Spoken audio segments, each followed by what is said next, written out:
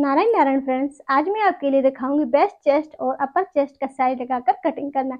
इससे पहले वीडियो में मैंने आपके लिए बताया था कि बेस्ट चेस्ट का साइज़ लगाकर हम कब कटिंग करना है तो जब दो से तीन इंच का अंतर होता है तो आज मैं आपके लिए दिखाऊँगी बेस्ट चेस्ट से साइज़ लगाकर कटिंग करना। वीडियो को अंत तक ज़रूर देखें स्टेप बाय स्टेप आपको पूरे ब्लाउज की कटिंग दिखाऊँगी। इससे पहले हम आपको बॉडी से नाप लेना दिखाएँगे बेस्ट चेस्ट और अपर चेस्ट में अंतर। ये देखिए फ्रेंड्स ये मेरी कस्टमर है। अब इनकी जो शोल्डर है, ये देखिए जो आगे की साइड हल्के से झुके हुए हैं। किसी किसी को कन्फ्यूज़न रहती है, बड़े साइज़ का ब्लाउज है तो आर्मोल की गोलाई भी ज़्यादा आएगी और शोल्डर की चौड़ाई भी ज़्यादा आएगी। ऐसा नहीं है। ये देखिए मैं शोल्डर की चौड़ाई का आपको नाप लेकर दिखाती हूँ। शोल्डर चौड़ाई आ रही है इनकी चौदह इंच नाप हमें उसी तरीके से लेना है, जैसे मैंने आपको पहले दिखाया है। अब ये देखिए यहाँ से हम इंची टेप को रखेंगे जॉइंट के यहाँ से, और ये देखिए यहाँ पर हमें लंबाई का साइज़ लेना है। लंबाई आ रही है चौदह इंच। अब यहीं से हमें इंच टेप को रखना है और यहाँ से हमें गले की लंबाई को नापना है। गले की लंबाई आ रही साढ़े नौ इंच। अब यहाँ पर हमें आर्मोल्स की गोलाई का साइज़ लेना है। पहले हमें फिक्स नापना है। ये देखिए, फिक्स नापने से ये आ रहा है सोलह इंच। अब यहाँ पर हम एक इंच लूज रखेंगे तो ये आएगा सत्रह इंच।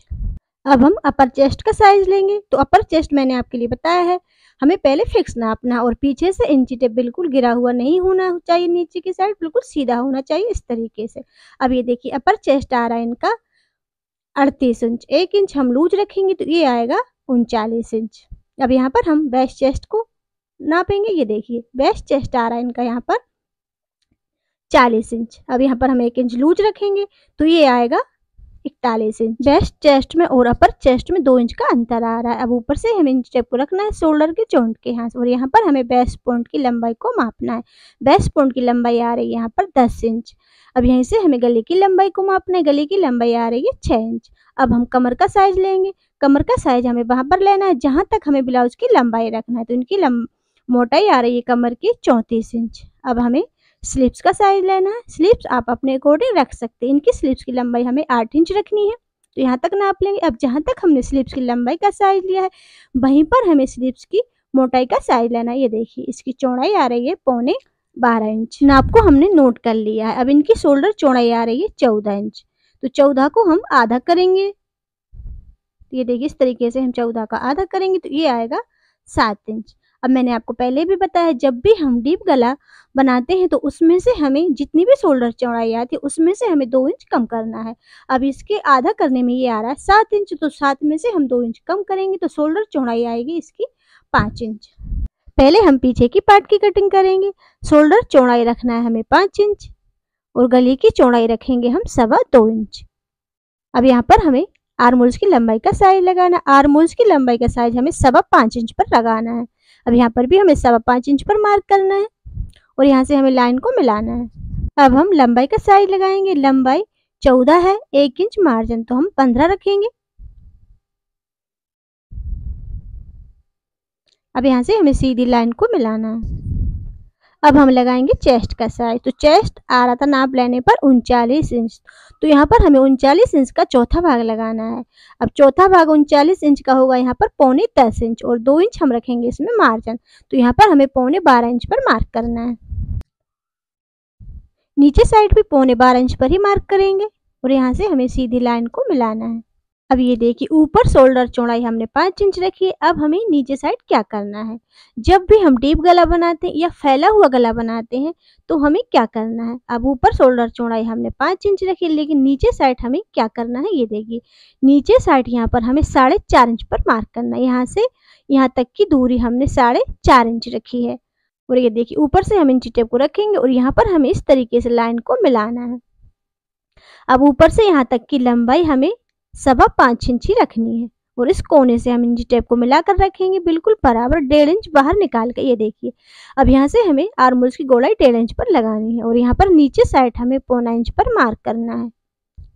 अब यहाँ से ऊपर से सेप देते हुए हमें इस नीचे वाले मार्क से मिलाना है। इस तरीके से हमें आर्मोल्स की गोलाई का सेप लगाना है। अब ये देखिए, अब हमें क्या करना है? जब भी हम फैला हुआ गला बनाते हैं या फिर जिनकी पीठ पतली होती है और बेस्ट पॉइंट ज़्यादा आता है तो उस कंडीशन में हमें क्या करना है? अब यहाँ पर हमें आधा इंच पर मार्क करना है और नीचे से हमें उतना ही रखना है और इस तरीके से हमें लाइन को मिलाना है। ये देखिए, गला हम फैला हुआ बना रहे हैं, उस कंडीशन में पीछे के पार्ट की चौड़ाई बढ़ जाती है। तो अभी देखिए, हमारा जो मार्जिन है, वो यहाँ से रहेगा। दो इंच ये मार्जिन हो गया और यहाँ पर ये देखिए, ये दो इंच मार्जिन हो गया और यहाँ से हम लाइन को मिलाकर मार्जिन को हम अलग करेंगे। अब ये दो इंच मार्जिन, अब ये देखिए, अब हमें क्या करना है? अब हम इसकी आर्मोल्स की गोलाई को मापेंगे। आर्मोल्स गोलाई आ रही थी सत्रह इंच तो सत्रह का आधा करेंगे हम तो सत्रह का आधा साढ़े आठ इंच। तो ये देखिए मैन फिटिंग पर यहाँ पर ये आ गया साढ़े आठ इंच, और दो इंच है ये मार्जिन।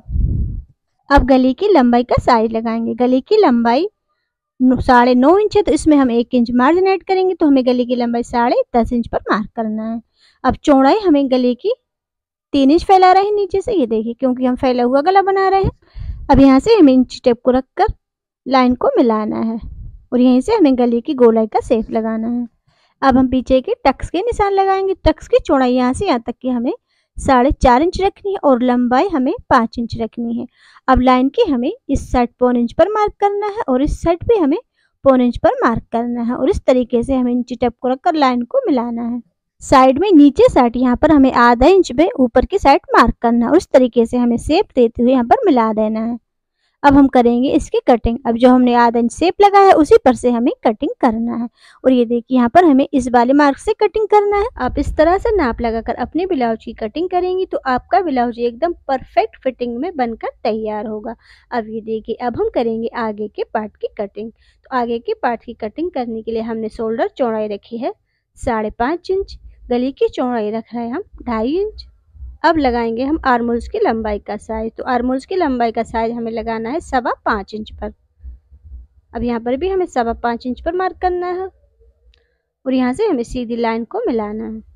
अब यहाँ पर लगाएँगे हम अपर चेस्ट का साइज़ तो अपर चेस्ट बॉडी से नाप लेते समय उनचालीस इंच आ रहा है। तो यहाँ पर हमें उनचालीस का चौथा भाग लगाना है। तो उनचालीस का चौथा भाग आएगा पौने दस इंच और यहाँ पर हम दो इंच मार्जिन रखेंगे। तो दो इंच मार्जिन ये आएगा पौने बारह इंच। अब आगे के पार्ट में हमें आधा इंच मार्जिन और बढ़ाना तो ये आएगा सवा बारह इंच। तो आगे के पार्ट में हमने मार्जिन ढाई इंच बढ़ाया है, उसकी पूरी चौड़ाई रखी है हमने सवा बारह इंच।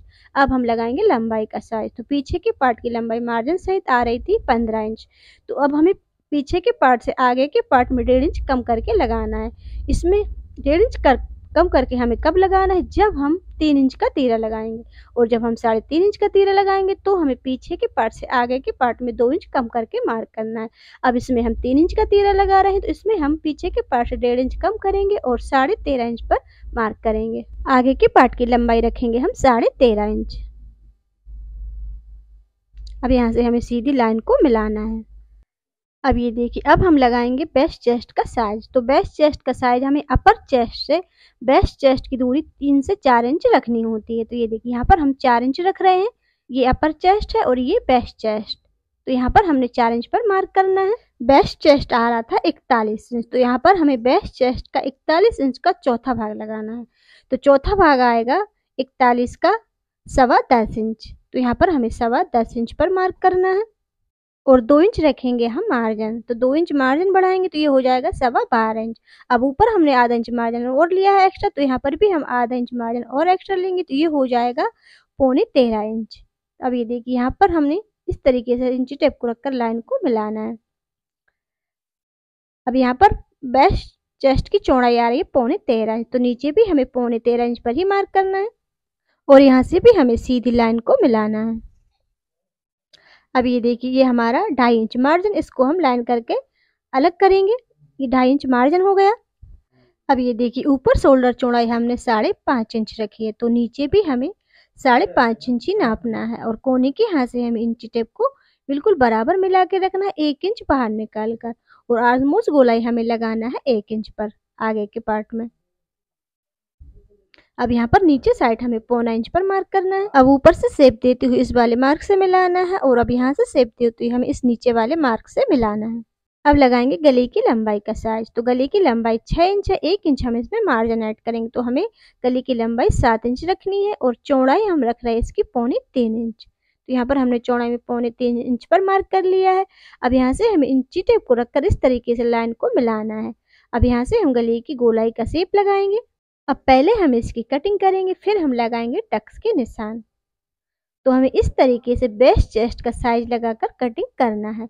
मैंने आपको पहले भी वीडियो में बताया था कि बेस्ट चेस्ट का साइज़ लगाकर कटिंग हमें कब करना है, जब दो से तीन इंच का अंतर आता है। मैंने जो आज आपके लिए कटिंग दिखाई है इसमें बेस्ट चेस्ट में और अपर चेस्ट में दो इंच का अंतर आ रहा है, इसलिए हमने बेस्ट चेस्ट का साइज़ लगाकर कटिंग की है। अब लगाएँगे यहाँ पर टक्स के निशान। तो यहाँ पर बेस्ट पॉइंट की दूरी हमें कितनी रखनी है? जितना भी चेस्ट है, उसका हमें यहाँ पर दसवा हिस्सा लगाना है। आपको दसवा हिस्सा नहीं लगा, निकालना आता है तो आप यहाँ पर रख लीजिए चार इंच और एक पॉइंट। यहाँ से यहाँ तक की दूरी आप रख लीजिए चार इंच और एक पॉइंट। चार इंच और एक पॉइंट में आपकी फिटिंग परफेक्ट आ जाएगी। अब ऊपर से लगाएँगे हम बेस्ट पॉइंट का साइज़। बेस्ट पॉइंट की लंबाई आ रही थी दस इंच तो यहाँ पर हम आधा इंच इसमें मार्जिनेट करेंगे और बेस्ट पॉइंट की लंबाई रखेंगे हम ऊपर से साढ़े दस इंच। अब यहाँ पर हमें सीधी लाइन को मिलाना है। जब हम बेस्ट चेस्ट का साइज़ लगाकर ब्लाउज की कटिंग करते हैं तो यहाँ पर हमें टक्स की चौड़ाई थोड़ी ज़्यादा रखनी है। तो ये देखिए, इसकी लाइन के इस साइड हमें एक इंच और एक पॉइंट पर मार्क करना है और लाइन के इस साइड भी हमें एक इंच और एक पॉइंट पर मार्क करना है और यहाँ से हमें लाइन को मिलाना है। अब यहाँ पर हमें आगे की साइड एक इंच ऊपर मार्क करना है, ये देखिए, और इस तरीके से हमें सेप लगाकर इसकी कटिंग करना है। अब लगाएँगे हम सामने वाले टक्स का निशान। तो इस टक्स का निशान लगाने के लिए हमें पेपर को, ये देखिए, इस तरीके से बिल्कुल बराबर फोल्ड करना है, गले के यहाँ से। और यहाँ पर हम लगाएँगे टक्स का निशान। तो टक्स की लंबाई रखनी है हमें सामने वाले ढाई इंच लंबी। अब यहाँ पर बनाएँगे हम एक छोटा सा सर्कल।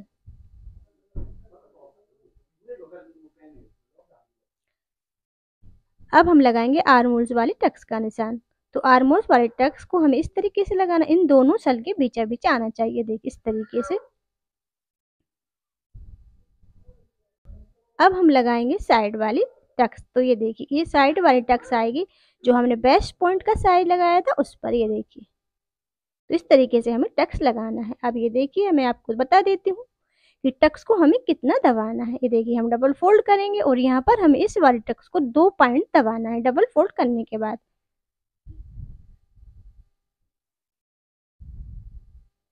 अब इस वाले टक्स को भी हमें डबल फोल्ड करके दो पॉइंट दबाना है। अब यहाँ से भी हम इस वाले टक्स को हम तीन पॉइंट तक दबा सकते हैं और बेस्ट चेस्ट ज़्यादा है तो हम इसको थोड़ा सा ज़्यादा भी दबा सकते हैं। इस वाले टक्स को हमें एक इंच और एक पॉइंट दबाना है। ये देखिए, इस तरीके से हम डबल फोल्ड करेंगे। और यहाँ से हमें डबल फोल्ड करने के बाद ये देखिए, इसको एक इंच और एक पॉइंट दबाएँगे। अब ये देखिए, यहाँ से हम इसकी बराबर सीधी लंबाई नाप रहे हैं टक्स की तो ये आ रही है तीन इंच और हम तिरछी नापेंगे तो ये देखिए, ये आ रही है सवा तीन इंच ये देखिए, यहाँ पर ये सवा तीन इंच आ रही है तो इस तरीके से हमें चौड़ाई में एक इंच और एक पॉइंट दबाना है और लंबाई में हमें इसको सवा तीन इंच दबाना है। अब तीरा की कटिंग करेंगे। तीरा हम लगा रहे हैं इसमें तीन इंच का। तो साइड से हमने तीरा की लंबाई रख ली है। तीन इंच और सामने से रख रहे हैं हम साढ़े तीन इंच। तीरे में हमने आधे इंच का ही डिफरेंस रखा है। तो इस तरीके से हमें तीरे की कटिंग करना है। स्लीव्स की कटिंग सब में एक जैसी ही होती है। पहले वीडियो में मैं आपके लिए स्लीव्स की कटिंग दिखा चुकी हूँ। स्लीव्स की कटिंग उसी तरीके से करना है। आज मैंने आपके लिए बॉडी से नाप लेकर जो कटिंग करना दिखाया है, शुरुआत में यानी आपको ये भी समझाया थी उनका बॉडी का शेप किस तरह से है। तो इस तरह से अगर शेप है बॉडी का तो हमें इस तरीके से नाप लगाकर कटिंग करना है, क्योंकि सभी के साइज़ में हम एक तरह से नाप लगाकर कटिंग नहीं कर सकते, क्योंकि सभी की बॉडी सेम नहीं होती है, सभी की बॉडी अलग होती है, सभी की बॉडी का शेप अलग होता है। तो चैनल को सब्सक्राइब कर लीजिए, वीडियो को लाइक कर दीजिए, आगे और ऐसे ही वीडियो मैं आपके लिए लेकर आती रहूँगी। नेक्स्ट वीडियो फिर मिलते हैं। नारायण नारायण।